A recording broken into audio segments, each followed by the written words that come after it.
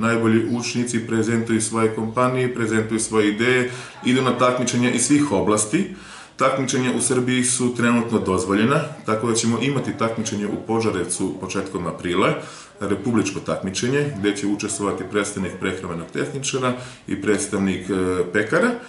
E, imat ćemo takođe još neka takmičenja iz preduzetništva. Nažalost, kažem, učenici mlekarska škola, da kažemo, veliku pažnju poklanja putovanju učenici, učenika u inostranstvo. E, trebali smo da obiđemo e, dva putova, da idemo na dva putovanja, Birdop i Plovdiv, gde bi se takmičili učenici u Plovdivu iz preduzetništva, veliko značajno takmičenje gde smo već par godina unazad e, redovni takmaci i učesnici.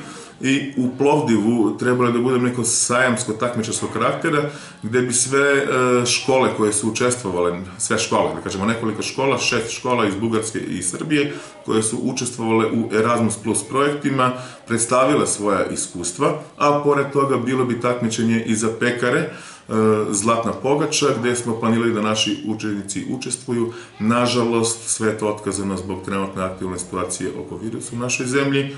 I da napomenemo isto putovanje u Prijedoru takođe je otkazano. Škola sa kojom imamo saradnju isto nekoliko godina unazad oko razmene đaka. Kažem, čekamo rešenja iz ministarstva i neke dozvole, ali za sada je sve to otkazano.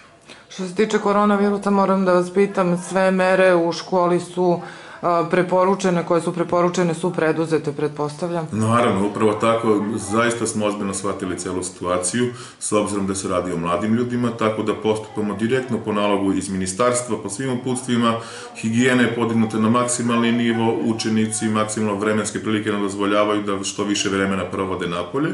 E, pored toga, isto ova velika pažnja se posvećuje i higijeni, sve to dočekujemo spremni i dežurstva nastavnika su pojačana,